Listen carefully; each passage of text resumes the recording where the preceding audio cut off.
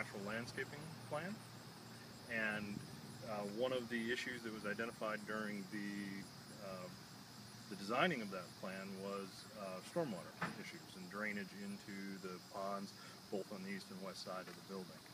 Um, and so this grant opportunity for the Illinois Green Infrastructure Grant, given out by the Illinois EPA, um, came up, and we worked in cooperation with the Association of Illinois Soil and Water Conservation Districts to apply for that grant. And the grant was awarded to the association, I think about two years ago, and it takes a lot of time during the design and the implementation to get it up and running and actually on the ground. And we've just recently completed the last components of the project and have it finished.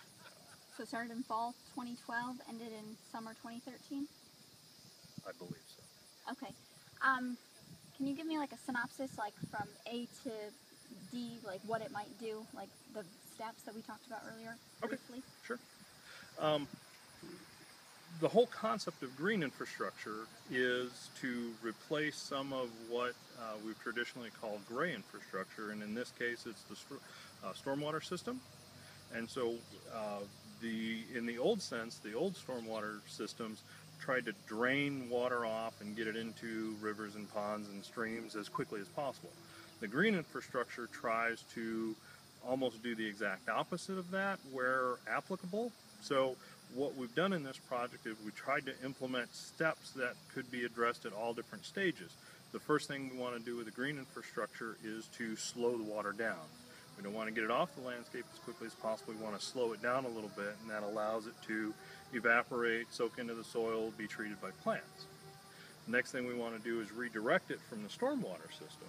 So in this case, um, we have our pervious pavers located next to our stormwater drains. Now we didn't remove the stormwater drains so that they're still present in extreme events when um, you know we need them. They're still there. So we've selectively put blocks of pervious pavement.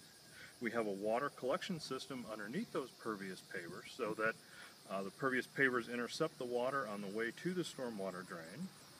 It soaks through the pervious pavers into the collection drain and takes them into through piping out into our rain gardens. Once in the rain gardens, that water is soaked up by the soil, evaporated, and utilized by the plants in the rain garden. Now, about 70% of all pollutants that wind up in our lakes and streams and ponds come in from stormwater. It's called non-point source pollution, uh, as opposed to point source like factory outlets into ponds and streams. Um, so it's just, you know, runoff off the roads and houses and, and, and yards and stuff like that. So um, by redirecting that water into the rain gardens, it allows those excess chemicals and nutrients and pollutants to be uh, treated by the sun, locked up on, in the soil, and uh, utilized by the plants for nutrient sources.